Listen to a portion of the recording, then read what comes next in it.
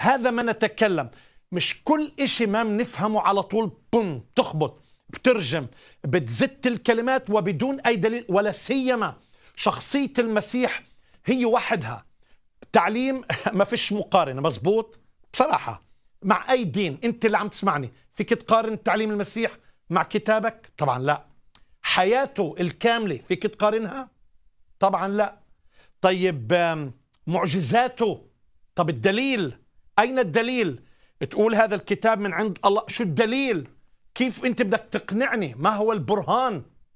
طب ما هو كل كتاب الصيني بقول الكتاب اللغة الصينية أحسن لغة نزلت للعالم والإنجليزية أحسن لغة واليابانية والعربية واللغة الإنجليزية. أي لغة هي اللغة اللي بيتكلم فيها الله. في شيء أجمل في شيء أهم في شيء أوضح. الله الله بيخاطبنا بلغة تواصل لما بيعرفك باسمك لأنه بيهتم فيك. صدقني أحبائي إحنا أول الناس أولى. يعني إذا بنعرف أنه في تجديف بنرفض الموضوع من أساسه. وطالما أنه المسيح هو الراعي الصالح والراعي الصالح بذل نفسه من أجلك. وإنت شو عليك تعمل؟